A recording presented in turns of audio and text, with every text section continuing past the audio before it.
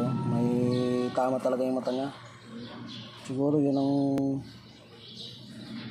tinamaan nung bumagsak siya mula sa bubong. Ano? Parang dry siya na galis. Saka yung parting kwitan niya. Ayun oh, may dumi.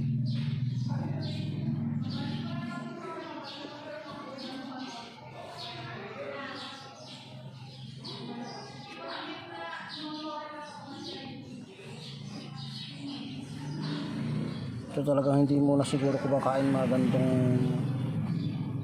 edad niya. Baka kwan lang ito eh. Baka 2 to 3 days.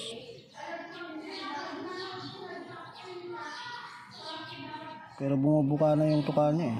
Kaya ibig sabihin naghahanap ng pagkain. Try ko mamaya bigyan ng